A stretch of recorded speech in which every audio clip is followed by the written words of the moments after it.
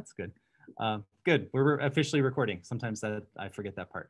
Um, well, thank you all for joining us uh, for our Faith in the Future installment on talking about the future of youth ministry. And uh, I'm thrilled to have Abagail Rusert with us. She's the director of the Institute for Youth Ministry at Princeton Theological Seminary, which is an incredible place. Um, the department, like they're just some very special places in the life of the church and Princeton IYM is one of them and, and Abagail is one of those special people. So um, it's a perfect match. And uh, so Abagail's the director of the IYM. She's an ordained Presbyterian minister and all around incredible person and uh, has an incredible family. And I'd asked Abagail to come and talk with us um, as part of the transition, as part of our post-COVID life. We're really thinking about what does faith in the future look like in these different ways. Um, and so Abagail was gracious enough to uh, to join us and, and share um, her learnings and perspective and the work of the IYM with us. So Abagail, thank you so much. Thank you so much for having me. It is a joy to be um, with Upper Dublin Lutheran Church and just a shout out to Upper Dublin in general, because when I served in congregational ministry prior to taking this role, I was over in Glenside and I coached track and field hockey for the Upper Dublin School District. So I know your kids. So it's it's an extra special gift for me to be able to talk today and think about your context alongside you. Um, and this post-COVID, it's not post really though, right? This in new season of COVID that we have just entered. Um, for those who are just watching the recording, it's you know it's a time when the vaccinations are happening and it's your first Sunday back in worship um, in physically together. So it's actually a pretty exciting time to think about youth ministry and to think about youth ministry maybe in ways that are a little bit outside of the box from how we have thought about it before. So I'm going to share my screen with you. I'll also name as I get my PowerPoint set up here that I also am friendly with and familiar with Lutherans because my husband is a Lutheran pastor and he is the senior pastor at St. Paul's Lutheran Church in Doylestown now. So we moved from Glenside over to Doylestown. So I love being able to hang out with Lutherans as often as I can, even as a Presbyterian. I think y'all are a little bit more fun. Don't tell the Presbyterians I said that, but I think you're a little bit more fun than the stodgy, you know, Presbyterians I, I tend to hang out with. so, so thank you for being you. And Keith, don't share this video too widely um, with me having said that. We'll, we'll edit that part out. okay, great, great. yeah, cut that out. Um, well, I want to talk to you today about a hinge, a place where two concentric circles meet. And that for me is youth ministry and innovation. And I'll first give you a sense of, I want to invite you a little bit on a journey that I have been through for the last three years in some of my work with the Institute for Youth Ministry. I want to give you the sense of a project that we have worked on at the IYM around youth ministry and innovation. It's been really a national research project, and we've worked with lots of churches. I also want to share with you today some thoughts and some input from the incredible folks with whom I work at Princeton Seminary, specifically Kenda Creasy Dean. Um, now, I don't know, Livy or Regan, if either of you were blessed to work on the Zoe project um, with Pastor Keith but maybe you've heard some some murmurs about it at your congregation. Maybe some folks who are watching later have been involved in the zoe project. Um, all that's to say i know y'all are a creative bunch because of who your pastor is and also um, because of who your congregation has been in the life of the work at princeton seminary through the zoe project. And the work that i have done is not too far um, afield from the work that the zoe project has taken on over the last few years we're going to do a creative exercise today, whether it's two of us. And for those watching later, you're invited to do it in real time with us. Um, you'll see that I give you a little bit of time to, from when we start the project to when you need to sort of report in about the project. So you can do this even if it's just on a recording. Um, and then you're going to get a homework assignment. I know that's not really a great thing to say at the top of a, a, time together, but I think it'll be really fruitful and generative for you. It's the assignment is you get to listen to something. So you can go on a walk. You don't have to sit in front of a screen. You're going to be able to listen to something. It's about a 40 minute podcast episode um, that I'll assign you as as your homework. And I hope that all of that creative juices flowing for um, UDLC to think a little bit um, more deeply and a little bit wider about maybe what you could do in this next season, this opportunity that we've been handed to think afresh about working with and ministry with young people. Okay, so first I want to introduce for you this project that I have been working on. I'm curious, um, and Regan, you don't have to unmute yourself, you don't have to turn your video on, but I just want you to think if you've ever heard of the Log College. Now, if you are any, I know you all are in Montgomery County, but over in Bucks County, there's this really well-known historical um, place called the Log College. Now it has since gone away, but there's Log College um, Middle School and there's William Tennent High School. These are names that might be a little bit familiar to you just because of the area that you're in. Um, but I'll tell you the story real quick and you can see the program outline on your screen. So you can see a little bit of this program we've turned into the Log College project, but I wanna tell you the story of the Log College. So I'll actually, just so it's less distracting, I'm gonna go back. The Log College was really a pastor, an Episcopalian who ended up getting friendly with the Presbyterians in Philadelphia in the 1720s, um, early 1720s, and maybe even arguably sooner than that. His name was William Tennent he got friendly with the Presbyterians, finally got sort of in and said, okay, they ordained him, they blessed him as a Presbyterian minister. And he realized that one of the needs um, happening in Bucks County at that time, in, in uh, Pennsylvania, Penn's Woods, you know, at that time, was they needed to train more people for ministry. There were a lot of uh, folks who were really interested in faith and they needed more pastors. And the only place places that a pastor could get trained at that time was Yale and Harvard. So this guy, William Tennent, looked around and he said, you know what? There's a lot of young people here who could do this, who could become pastors. Why don't we set up a school? So he built a 20 by 20 foot log cabin and started training people for ministry, specifically young people. And the thing that was different about it is he actually really did life with these young people. It wasn't a school where you'd come and you'd learn and then you would go home again. The whole idea was community building supporting one another, being involved with each other's lives outside of the classroom. Um, that deep and rich sense of belonging that I think is just innately part of our, our, our wiring as human beings, wanting to belong to something, wanting to belong to other people and groups. So um, it ended up being called the Log College in contempt by the Philadelphia Presbytery actually he caused a huge schism in the presbyterian church. Um, people were coming out of this education and they were told that they weren't really legitimate pastors because they hadn't gone to yale they hadn't got to gone to harvard. And uh, and it ended up being a huge point of contention for the presbyterian church really in the in the early 1700s uh, lo and behold, over time, some of those graduates from the Log College ended up being some of the most fiery preachers in the Great Awakening. And many of them went on to found institutions in this country of higher learning, including Dickinson College is one of them. If you drive on 263 today, which I know heads down through Hatboro and over to where y'all are, you can take 263 up to, toward us in Doylestown. There's a Dunkin' Donuts right after you pass the Dunkin' Donuts, look on your left, and there's this cruddy old little monument. It's not cruddy, it's, it's a big stone, pretty monument, but in a kind of a cruddy spot. And uh, on that monument is a list of all these institutions that William Tennent and his Log College graduates founded. And one of them is Princeton University, which of course turned into Princeton Theological Seminary.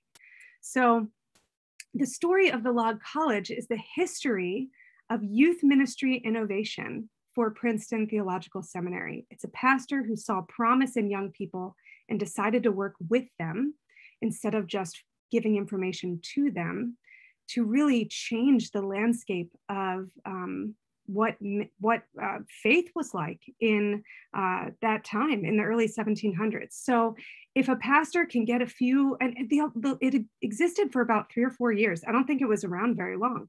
But if a pastor can gather young people together and cause a great awakening, why can't Upper Dublin Lutheran Church gather young people together do ministry with them, maybe differently than other folks are doing it, whether it's Yale, Harvard, or the church down the street. And um, who knows what God might do with that? Who knows uh, what what flames the Holy Spirit might fan um, with that kind of ministry? So my hope today is that this work can inspire you towards something like that.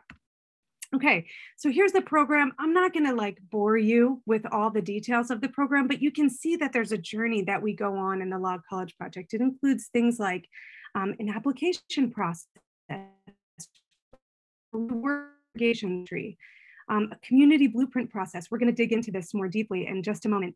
If you think about it, like we sent these, you see these design boxes here, we sent these literal, literally they look like pizza boxes. We would send them to your church, you open them up and there's curriculum. It takes eight weeks. There's projects that you do. You work with an intergenerational team. You involve young people. There's gatherings, things like design summits. Um, there's digital courses, an online course you can see right here. And then there's a culmination of all of this in an event we call the Design Lab, where congregations all gather together with their young people and they all design new forms of ministry. And they design it. The, the thing that makes it youth ministry is not that we're popping out with all these interesting programs for young people. It's that young people have joined not so young people, and together they have designed new programming. Now, that could be for anyone, for whatever needs are going on in your community. The thing that makes it youth ministry is that young people are doing ministry with you. So in the Log College Project, when we first launched it, we had 200 applicant churches. We collected a bunch of information and data from those churches, and I'll share a little bit of that, of our learnings with you in just a moment we had 50 churches who did this design box, this blueprinting box, eight weeks together. We sent boxes out. Um, they worked in intergenerational teams and they did a lot of research about their area, um, their community, the needs present in their community, and the passions of young people, where young people even are in their community. That's not too far afield from what the Zoe Project had y'all did with young adults. And then we worked with 12 churches specifically, and that was a three year journey with those 12 churches.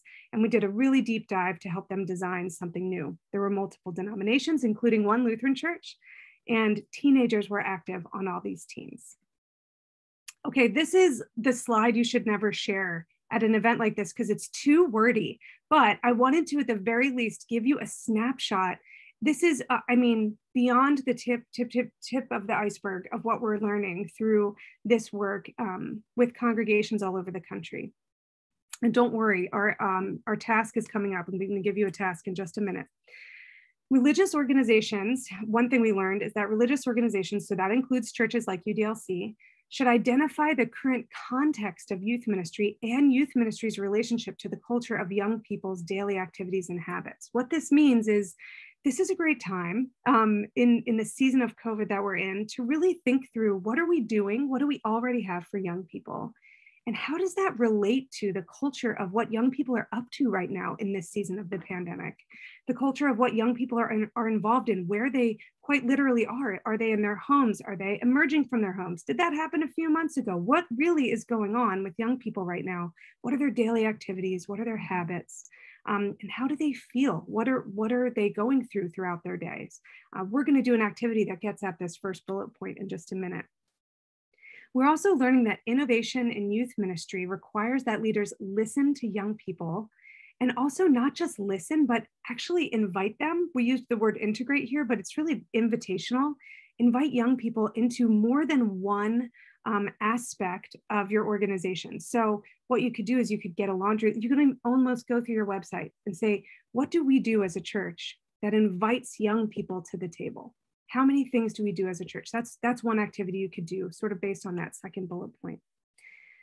Next is we're learning that religious organizations need to create a culture of innovation for youth ministry. Youth ministry models or programs is another way of thinking about a model. Youth ministry programs can't rely on one superstar person. Rather, they require a team of invested people to create new innovative programming. And I would say a step further of that is on that team needs to be teenagers. We're also learning that the leadership of religious organizations, so that's the, the Keiths in the room, right? And it sounds like, um, Livy, this is you too. You know, anyone with a leadership role in an organization needs to recognize that youth ministry is a worthy investment and create a culture of innovation to support um, those new efforts. Now, you're already doing that. You're already signaling that for your congregation by having somebody like me um, come and present today. All right, I have to toggle back to my screen here. All right, last wordy slide.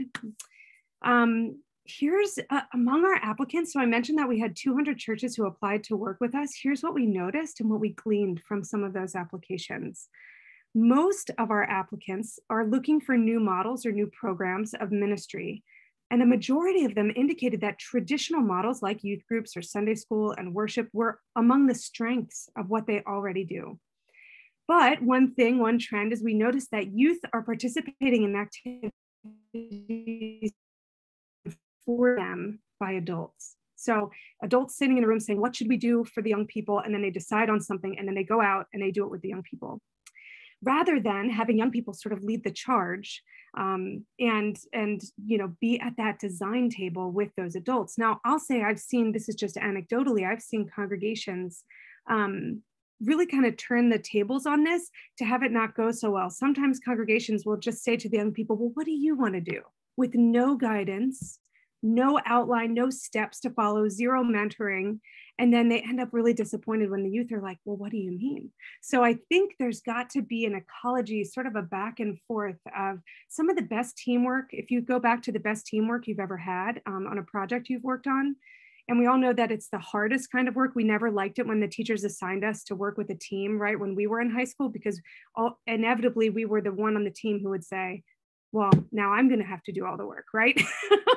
but if you mine your history for that was one or two examples when that teamwork really was awesome, think about how there were different roles on that team and different skills and strengths brought, brought to the table. And then think about the teenagers you have in your congregation. Which of these teenagers has skills and strengths that could really shine if they were placed on a team and treated as team members, not to bear the burden of coming up with all the answers on the team, and also not to sit in the background as a wallflower and never really be involved.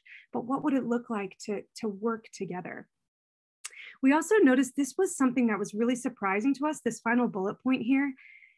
All of the congregations we surveyed, we gave them these, this laundry list of like, what are the spiritual practices that are really resonating with the young people in your congregations? And we took this list of spiritual practices. There must have been 20 of them that we listed out. Everything from baptism to um, Bible study to prayer uh, and the thing that rose to the top, the tippy tippy top, was acts of service and justice was the number one way that congregational leaders identified um, their young people really being passionately involved. And this goes back to a way you can think about this is have you done a service day project at your church? Have you done a mission trip before, or even a pilgrimage, um, a spiritual formation pilgrimage type trip with your young people? And did you notice that young people really seemed deeply um, impacted by that work and eager to do something like that again? If so, you're not too different from the 200 churches who applied to work with us. They noticed that too, that young people seem very eager to get involved with something that's justice oriented, service oriented, sort of um, cultivating belonging outside of themselves, is another way you could think about it.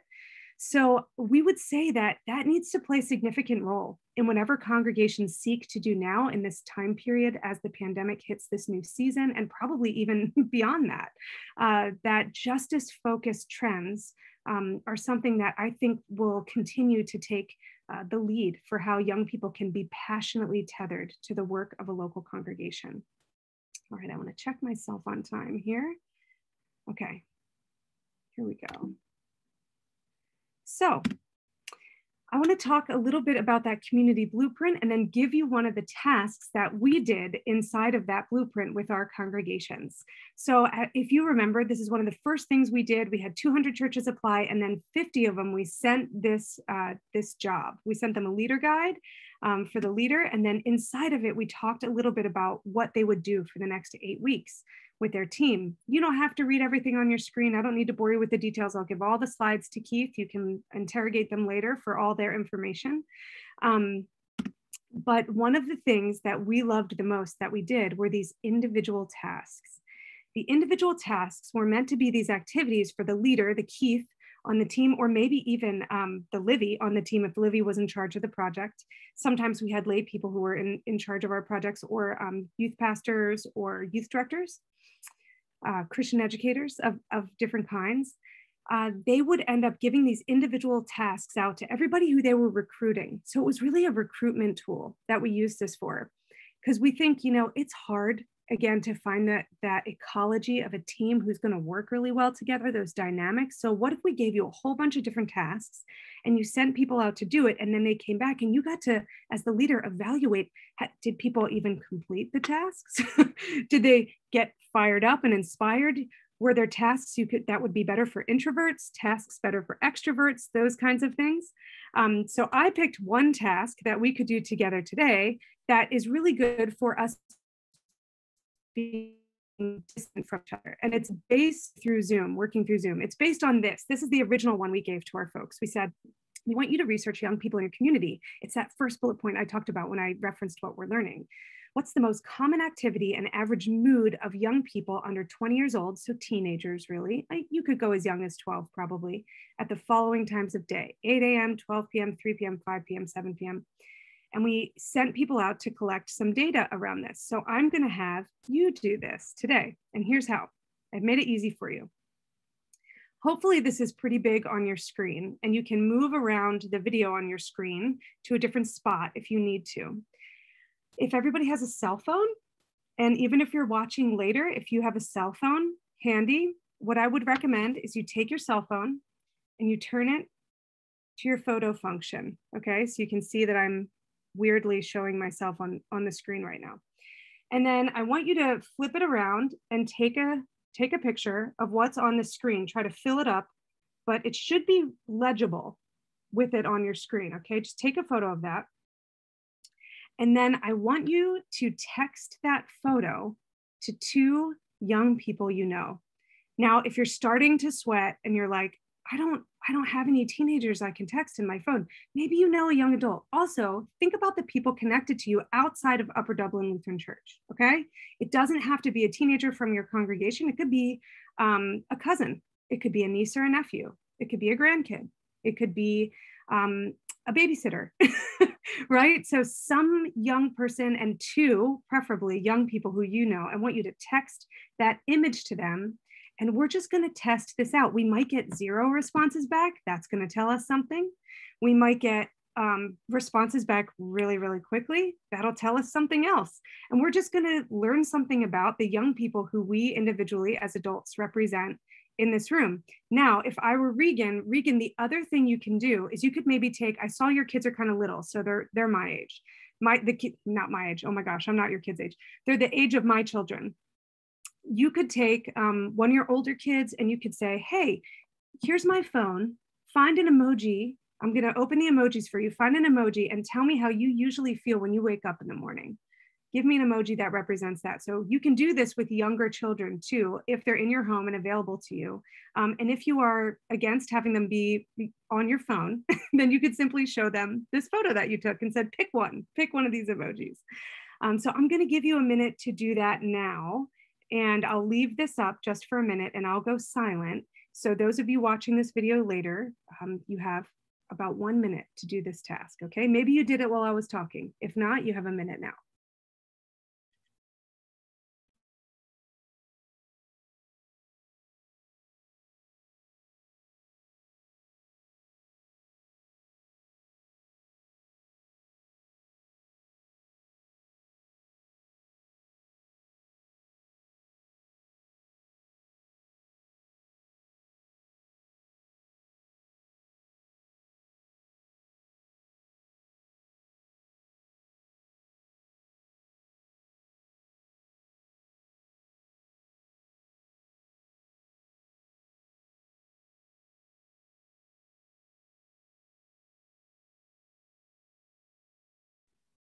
Okay, hopefully we have done our task. And if not, you have this photo in your phone now and you can save it and do it later. Um, and you can sort of bring that information. I encourage you, if you do it later, bring that information back to Pastor Keith and let him know what you learned. That's going to be really useful for his way forward as y'all dream together about youth ministry and innovation. Are we cool for me to take this down? Uh, yeah, I just want to say I have you know four kids between uh, 17 and 12, and I'm getting emojis back. there you go. See, perfect. And you, it makes it really easy for them to do it really quickly too. You know, yeah. it's like just send me the emoji. I don't want anything else. Yeah, I don't need you to write words for me. Just send me the quick emoji. Yeah. I love it. Good. So so hold those because we're going to come back to that in a minute. I love it. Okay. I'm not sure if this will work. So Pastor Keith, I sent you the audio file earlier. We're going to try it here um, to see if, if it works, but I have an audio clip and the visuals here will make sense for you as we listen to this audio clip. Um, hopefully this will be a gift for those of you who are just sick of your screens you can you're going to have three and a half minutes where you can just look away from your screen and simply listen you can um, this is from the beginning that was delivered by Kenda Creasy Dean, the faculty member at Princeton Seminary, who I introduced and talked about at the beginning. She is the professor of youth, church, and culture at Princeton Seminary. And um, I think what she does in this audio clip is she kind of lays the foundation for the moment. She has really a bird's eye view of what's going on with congregations nationally Internationally, she has worked on countless national projects around youth ministry and innovation. She even launched an organization that helps um, not only congregations, but all organizations work with young people to do innovation. So she's got a, a pretty good grasp on what's the on going on right now um, with those of us who are serving at the congregational level. And I love sort of the way that she weaves some learnings and kind of sets the stage for why. Why is now a good time to do innovation and think outside of the box around youth ministry? All right, so let's see if this audio clip works. If not, Pastor, give me a thumbs down and then maybe you can run it from where you are. Okay.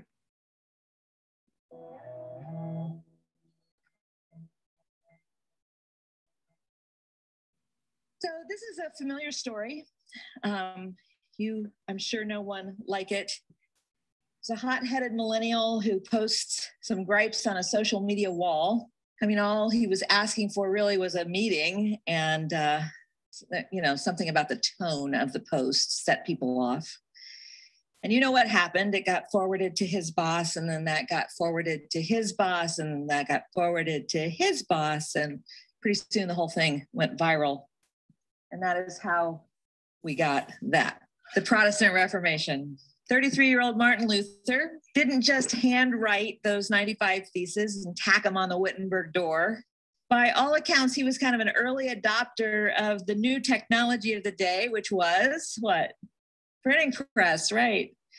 Um, and he enlisted another young Wittenberg entrepreneur, Johann Grunenberg, who happened to own the new technology, I suppose in his dorm room or something.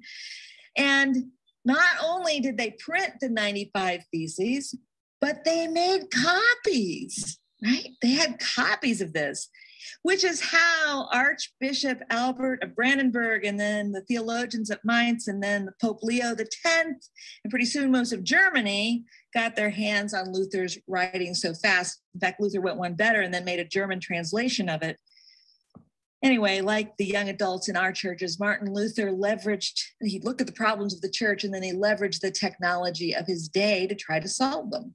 Or Maybe you've heard of this guy, Emile Leray, 1993. He's a French electrician. He's driving across the desert Morocco and he breaks the, well, he gets to a checkpoint that says, do not pass go. Don't go past here. It's dangerous. And of course, he goes past there. And about 20 miles into the desert, he breaks the axle of the car and it's undrivable. And so now he's got a problem. So he can't drive the car. He quickly deems that it's undrivable he is he knows the the terrain pretty well. He's been through this area before and he knows that he is at least 20 miles from the nearest village.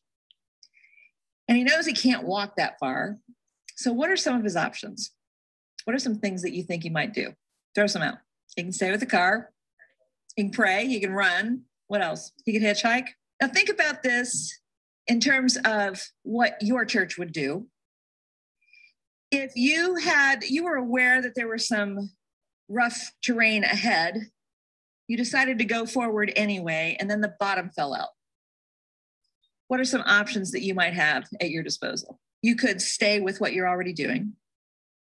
You could pray you could run okay so what he does right he's got he's got what he has in the car is he has he does have some water with him and he has his um, electrician's tools with him okay so what he winds up doing is he takes the um, body off the car and he sleeps under it for a few days 12 days to be exact and he um, spends the next 12 days reconfiguring the parts of the car to make that. And then he drives it into the nearest town where he promptly gets a ticket for not having a proper motorcycle license, which goes to show you that even if you do hack the resources that you have to come up with something new and innovative, somebody's going to penalize you for. so there you go. I stopped the uh, audio clip at that special spot. but um, but this gives us a glimpse into this sort of bird's eye view of of what's going on in sort of our cultural societal moment outside of that, just in in and across the world. Um, there are new tools. And welcome, Sally. I saw you join us. Great to have you. Um, there are new tools at our disposal, just like Martin Luther had the printing press at his disposal. There are new tools at our disposal, new resources at our disposal for doing ministry.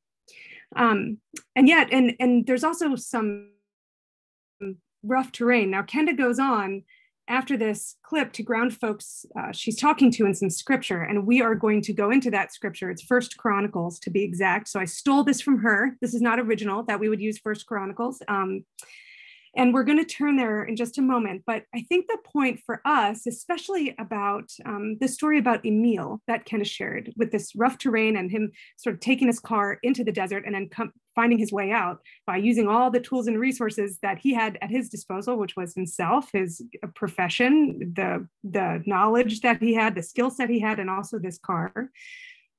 Um, I want us to, to sort of put youth ministry inside of this metaphor. So there's some rough terrain ahead when it comes to youth ministry, and we aren't necessarily in a different boat um, uh, with Emile, who willingly drove his car into that rough terrain. Our impulse, however, as the church is a little different.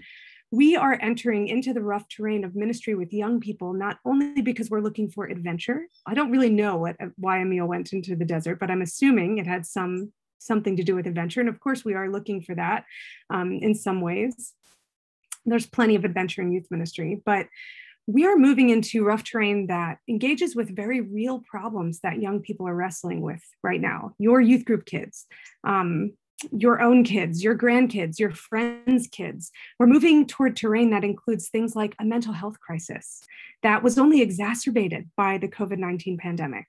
Um, this terrain includes, includes incredible amounts of isolation and loneliness. And uh, since having a vaccine more widely available now, that may swing us into our own 21st century version of the roaring 20s as we sort of emerge and bump into each other in, in the coming months and years. And I mentioned that I used to coach sports in the Upper Dublin School District. And so some of your kids uh, I think of as my own hometown kids that they're struggling with wanting to perform to get top grades, to get into the best schools in the area that you live in. They're struggling with eating disorders, um, suicide attempts or suicide attempts by their friends. There's youth homelessness that sits sometimes inside of the Upper Dublin School District, but certainly on the edges of the Upper Dublin School District. And you don't need this list, right? You don't need the list of the rough terrain because you live it and you experience it and you're concerned with it because um, we're called to be as Jesus followers. These are the very real struggles of adolescents and young people we know.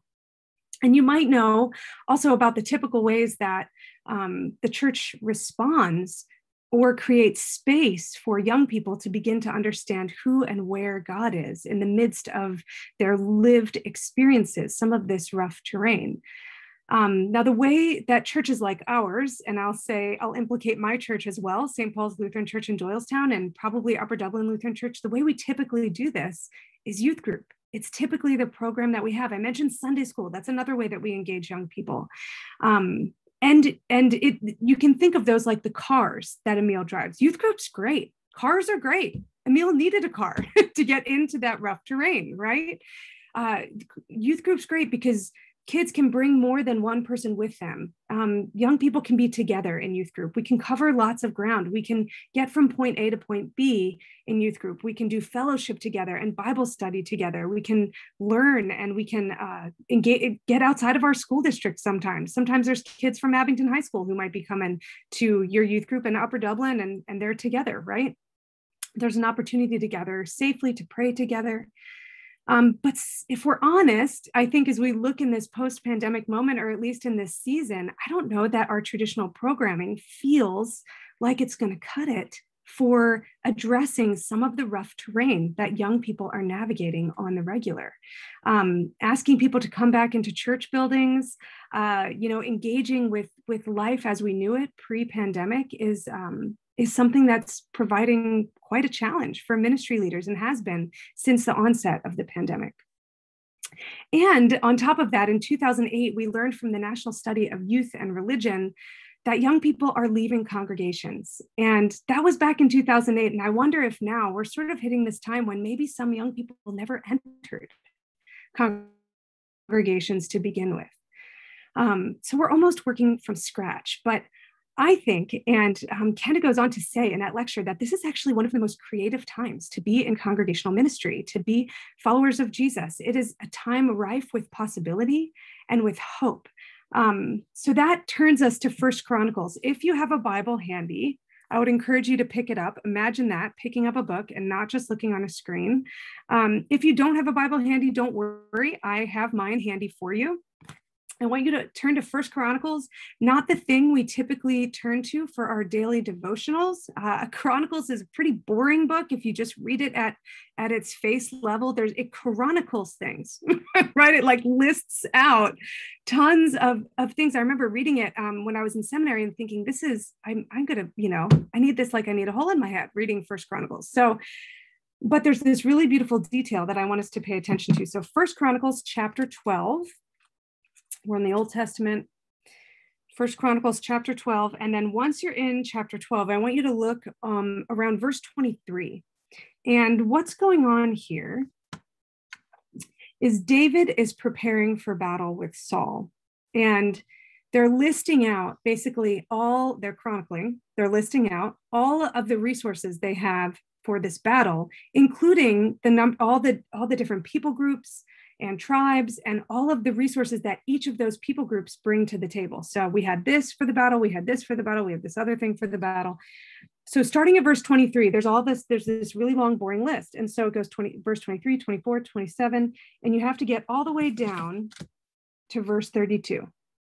And it just glance at the verses before it though, glance through 23, look at the kind of numbers we're working with. We've got, you know, 6,800 armed troops from Judah. The Levites are bringing 4,600 troops. There's the Benjaminites have 3,000, right? Oh my gosh, look at this. The Ephraimites have 20,800 mighty men of valor. That is a pretty great resource that David has at his disposal. All right, let's get to 32. Of Issachar, men who had understanding of the times to know what Israel ought to do, 200 chiefs and all their kinsmen under their command. So someone thought to list the men of Issachar, 200. We're not talking big numbers here, 200. And they thought it was worth it to name that the resource that they brought to the table was understanding. Another way to think about that is wisdom. 200 people had some wisdom. And that was an incredible resource, incredible enough to list in this list of, of armies um, that David had at his disposal to go into battle with Saul. And I think that what that lays out for us and what we can think about when we think about innovation, sometimes it feels like a big task. It feels like, oh, I'm going to have to do a three year journey with Princeton Seminary. It's going to be this huge thing. We're going to have to pay Princeton a bunch of money and be part of this huge program. Now, if you want to do that, talk to me. But if you don't want to do that, you don't need to. 200 people with understanding of the times. Um, some Martin, maybe a Martin Luther in your corner, you have that. You've got that leadership in your corner already. There's two of you here today on this call, you know, who already work with young people, at least that I know of, who already work with young people. You've got lots of other tools. You could make your own list of all the other tools and resources that you have at your disposal. But wisdom is enough. Um, and it is a, enough to offer as a starting place for how to do this work really well. And you have already begun to cultivate wisdom today, wisdom specifically about young people who are tethered to and connected to Upper Dublin Lutheran Church through each of you who are represented here. And that's the task that you went and did. And now you have some information that you didn't have at the start of this meeting of some of the um, some of what's going on with these young people, right? So now, and I'll, I'll name this, I'll name this, and then we're going to go to our task results. But I want to just say that I think, um, along with my colleague Kenda, I think that this is the best opportunity that the church has had since Luther, with all the new tools we have, um, you know, our modern day versions of the printing press at our at the ready. We are the designers we have these tools and we are at the ready to finally integrate young people, which would be a new thing for the church. Youth group and, and the traditional youth programming that we run now has been around for about 100 years. That's how long our traditional youth ministry programming has been around for mainline, uh, predominantly white congregations. It's been about 100 years. Um, and it's probably a good time for us to, for a few new things to emerge. Um, through the new resources that we have since about 100 years ago, and certainly since the time of Luther. So it's an incredibly opportunity. So I want to crack it open a bit. Whoops. Ah, we talked about this already, but I want to crack it open a bit to hear. Um, let me just toggle back to this. When you sent this text message with this image out to your people, what did you learn? And maybe I'll stop sharing actually here. What did you learn? I'd love to hear it. If there's so few of us, we can unmute and maybe just go in turn. So uh, my four kids responded, and um, I learned that one of uh, one of them is a early riser. I guess I knew this, and the other three like to sleep in. But I guess um, the 10 p.m. they were all happy in the midday at 12 o'clock, and then at 10 p.m. it was kind of interesting. So one had kind of like a sly smile emoji. One was tired. One had like a celebration emoji, and uh, laughing emoji, like laughing with the tears, and the other one had like a, a thoughtful emoji with a monocle. So like these are all like only one was sleepy, and the rest it's kind of actually, you know, kind of deviate from the others and the other things they shared. So like that 10 o'clock time is kind of a kind of an interesting time. And knowing them well, this all lines up for me. But um, yeah, I think that was cool. What's happening at 10 p.m. Love that. Thank you, Livy. I only heard from one. Uh, I sent out to just a couple of families, and uh, they were very sleepy at eight. Uh, they were happy with a big smile at uh, noontime and content at 10 o'clock. Kind of a content emoji, just a soft little smile. So I'm hoping to hear from some from some more kids, but looks like the best energy time was about noontime. Now, Regan, you're you're muted, and and Sally, you didn't get a chance to do this, but if you want to throw something in there, I was going to say, turn your turn your camera on. What would you learn, if anything? Well, I just checked in with with my girls and um, had them do just the morning the morning time, and um, they picked three. They pointed to three different emojis. Uh, they were typically happy in the mornings. Um, Brennan was uh, picked the one that kind of was a sideways, the sideways smile, because she's hit or miss when she gets up. Um, but that was their response. I love it. I love it. Well, and I it makes me wonder, you know, what are those? Is it the 10 p.m. for for you, Pastor Keith, you know, that you want to now follow up with with your kids? And is there a conversation there that maybe wasn't there before because of this little research that project that we started to do. And then I also wonder what it would look like. What if you surveyed all of the kids who Upper Dublin Lutheran Church is called to serve, right? And then what would that mean? How would that influence maybe the next step you would take as you discern together, you know, what should we do in this season of the pandemic? What could and should we do together? Oh my gosh, 8 a.m. We definitely can't plan for them coming to Sunday school at 8 a.m. No, they're all asleep. You know, I, I don't know. I mean, I'm I'm guessing, but I could be wrong. You know, you could have a slew of kids who are morning people, like one of your kids is, Keith, you know?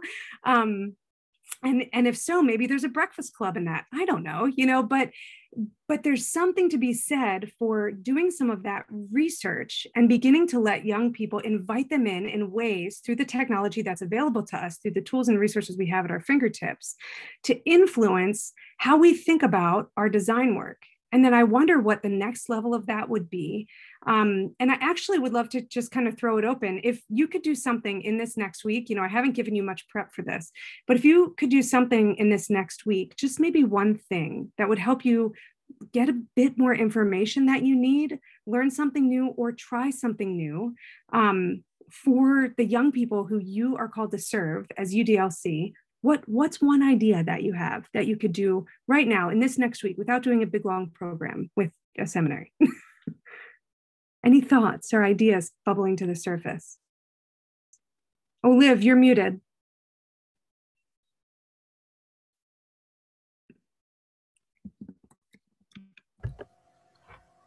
I love your idea of using emojis to get some answers because it's very non-threatening. Yeah. It doesn't require a lot of work and it doesn't require too much thinking before the answer. It gives you a gut reaction, Mhm. which I think is also a helpful thing. We can dig a little more deeply once we get some of those gut reactions, I believe, but just to just to tell us where are you at this time of day, or we could use emojis. Uh, we could send out some emojis of people doing different things, and uh, you know which emoji relates most to you. So I see that being helpful. Looking, um, our youth director is not here right now. He's not able to be, but I know he's going to tune in later. But um, thinking of the Sunday school and um, and the time of Sunday school, and um, and you know, and what is Sunday school going to look like? That's really one of my big focuses. Um, and so, I would like to send out something like that, fun and easy, for kids to do, even for kids who are little. Um, I mean, I could send them a, like a postcard with different emojis and ask them just to circle it, Mhm. and then bring, and then bring it back to church. You know, we Mhm. can talk about it. Bring it back, and we'll have, uh, you know, we'll have a scavenger hunt or something like we we did yesterday. We had a successful thing outside with kids, but I really love that idea of the emoji because when you ask kids to start putting a lot of verbiage to it, number one, it really leaves out a lot of children who have maybe have some special needs, who are not such good readers or not or they're not so good at expressing themselves. But pretty much anybody can take an emoji and and, and put a circle around it. So I love that. And I will work on doing something like that this week. That, that'll be a fun thing. I'll talk to Keith about it first so he doesn't think I'm going crazy. I don't want to go rogue on you, Keith. I don't want to go rogue on you.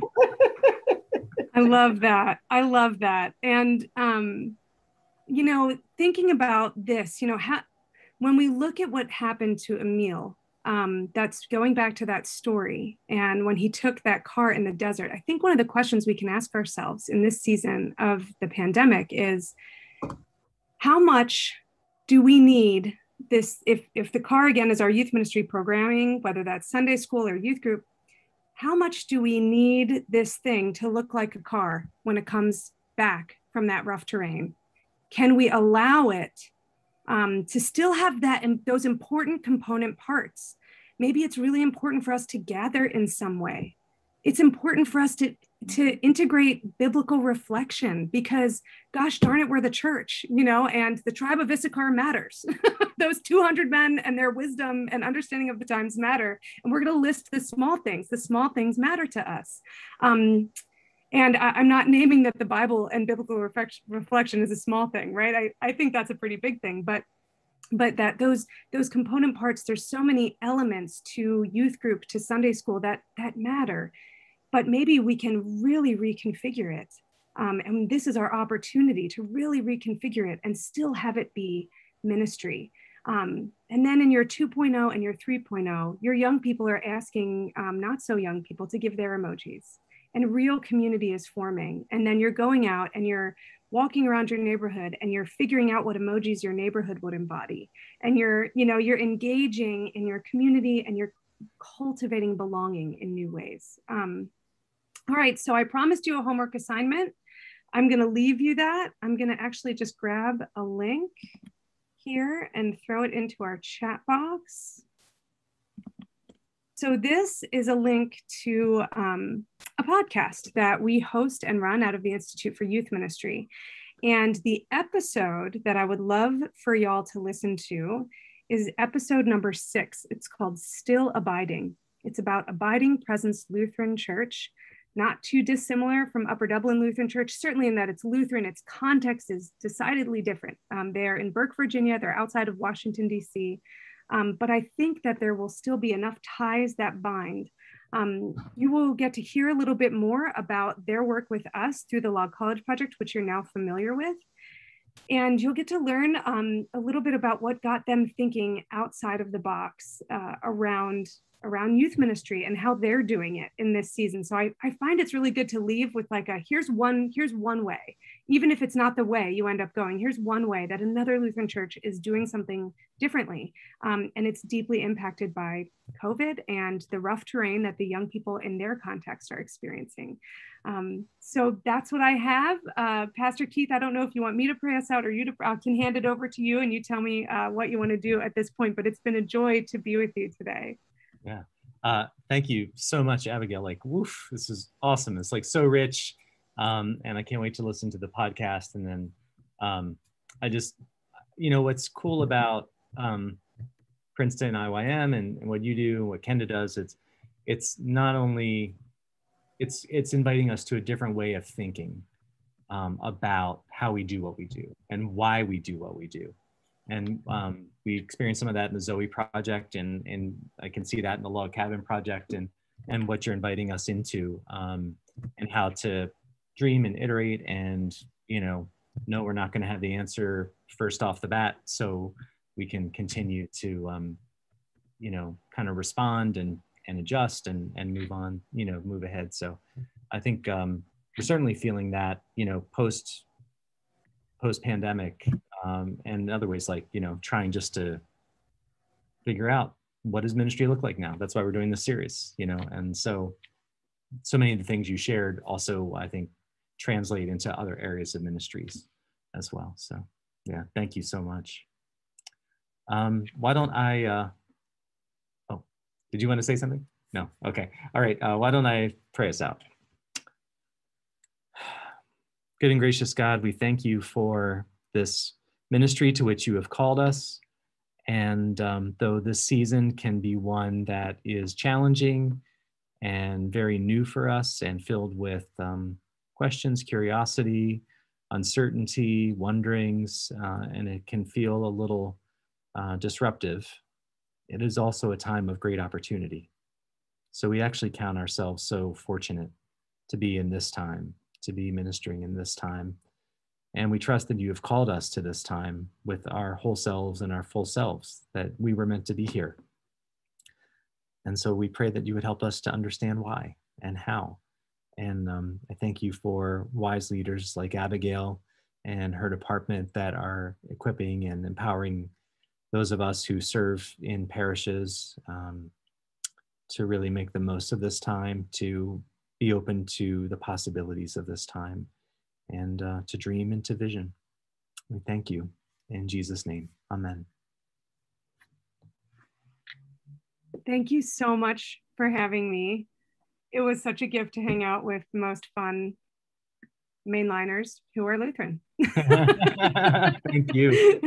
Just, just, just awesome. I'm, um, and I will. Uh, I'll just turn off. The, I'll remember to turn off the